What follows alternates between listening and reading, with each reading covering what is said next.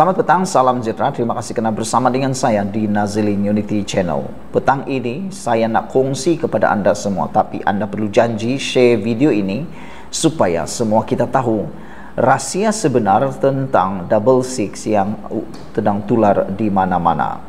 Saudara-saudara, saya dedahkan, saya kongsikan dengan anda semua apa natijah pendedahan siasatan nahas pesawat Sabah Air yang telah didedahkan baru-baru ini.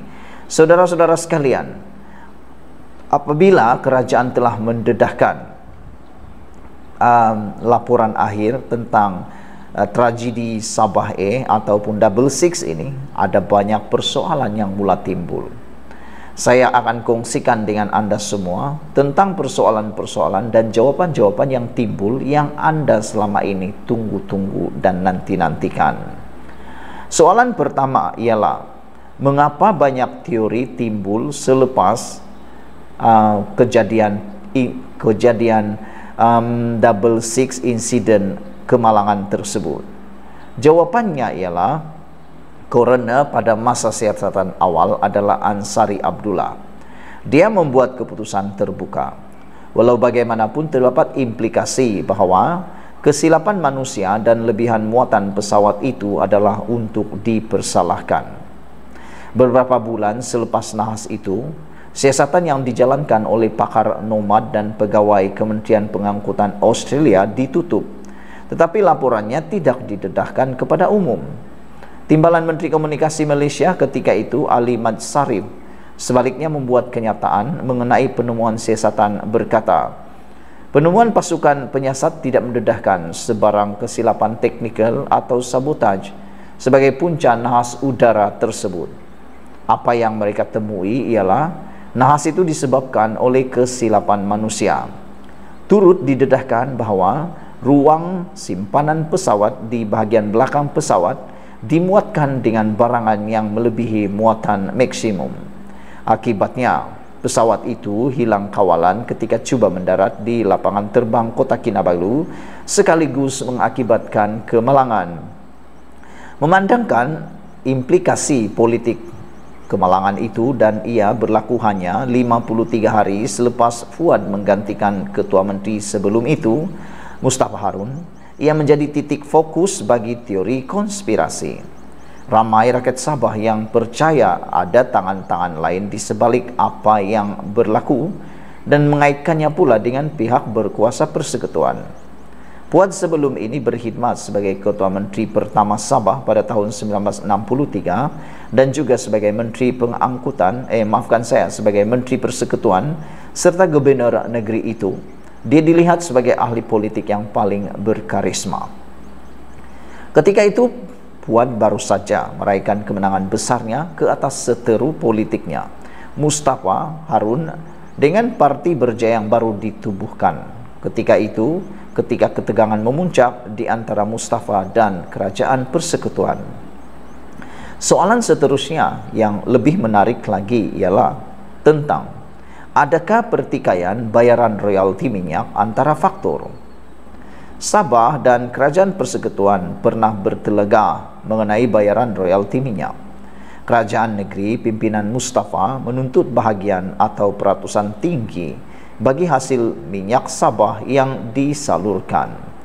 Mustafa juga telah terlibat dalam pergaduhan dengan Filipina yang mengekalkan tuntutan Sabah itu ke atas Sabah. Dia juga menuntut dan menerima autonomi apabila melibatkan immigration atau kemasukan ke Sabah. Sebelum nahas itu berlaku, sebelum nahas itu berlaku juga letupan bom di sebuah pusat membeli belah di kota Kinabalu, susulan tindakan polis menangkap dan menahan beratus-ratus orang termasuk abang ipar Mustafa. Selepas kemenangan itu, timbalan Fuad, Haris Haris Saleh mengangkat sumpah sebagai Ketua Menteri dan hanya 8 hari kemudian pada 14 Jun Haris menandatangani perjanjian royalti minyak yang hanya memberi negeri itu pampasan sebanyak 5% saja untuk menyerahkan semua hak sumber minyak luar pesisir Sabah yang kaya kepada Syarikat Minyak Nasional Petronas.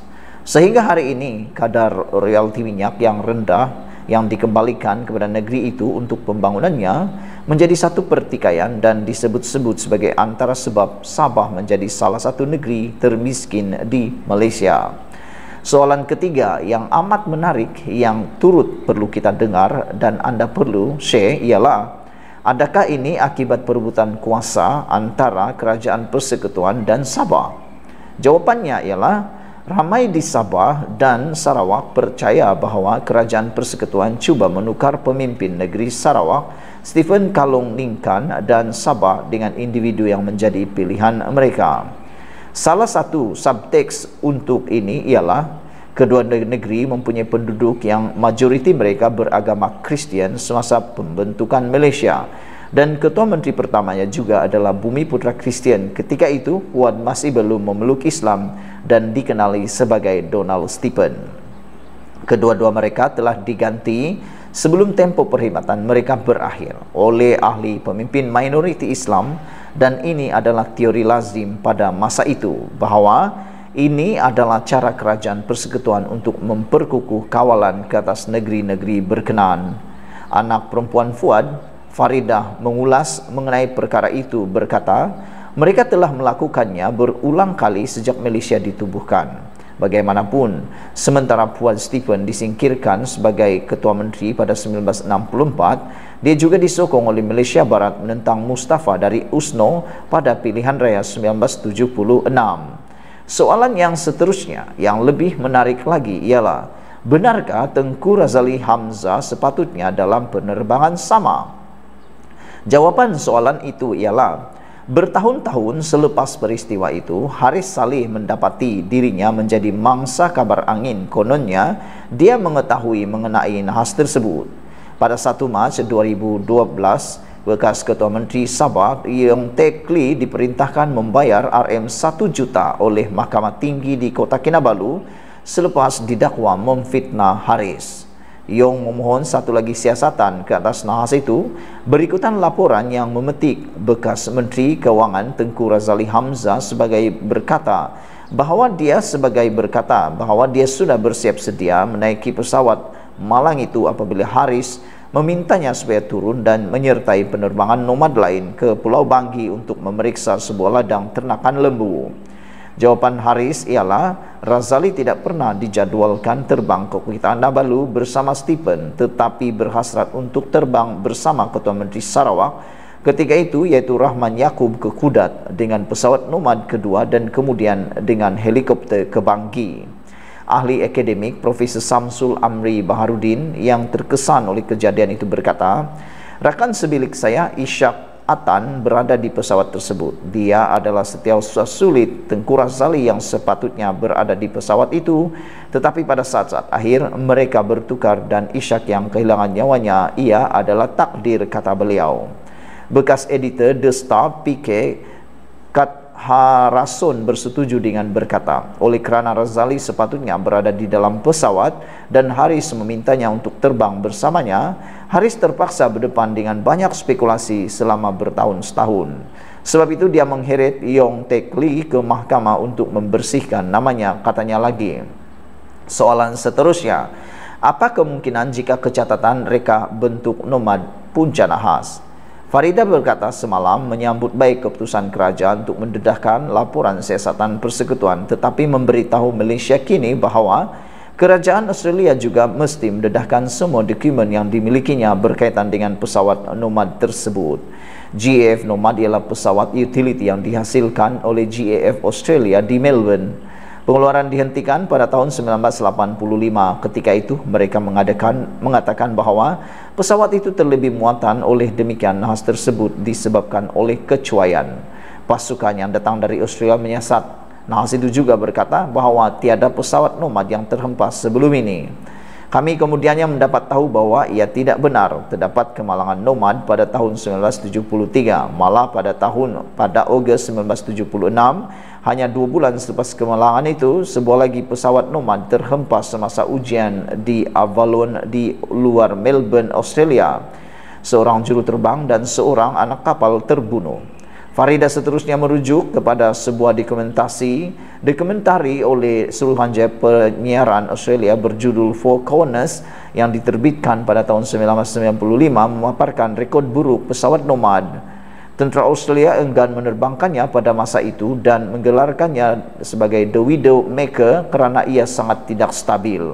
Dokumentari itu berdasarkan kepada laporan 10 jilid mengenai nomad tetapi ia nampaknya tidak didedahkan kepada umum kata Farida. Malah kajian tentang sejarah penerbangan nomad menceritakan segala-galanya daripada 172 nomad yang dibina tidak kurang daripada 32 dilaporkan mempunyai masalah. Pada Januari 2010, Nahas Nomad di Filipina mengorbankan 8 anggota tentera manakala 2009 pada 2009 terdapat kemalangan maut lain di Lob Buri, Thailand dan Bulungan, Indonesia. Kalau tidak pasti tentang apa, kita tidak pasti tentang apa yang berlaku selepas itu, kata beliau. Mereka yang diberi tugas untuk menyiasatnya tidak jujur sepenuhnya dakwa Farida. Dia dan bukti sudah hilang. Saya masih mengatakan bahawa kemungkinan besar terbesar punca nahas adalah kerana pesawat itu rosak, kata beliau lagi. Itulah dia saudara-saudara sekalian satu pendedahan yang amat luar biasa menyuntik pengetahuan umum kepada kita semua. Dipetik daripada Malaysia kini diterbitkan pada 6 April 2023 ditulis oleh Martin Vangadesan. Sekian dulu Malaysia kita punya kita juga sama-sama cintai Malaysia ku. Bye bye.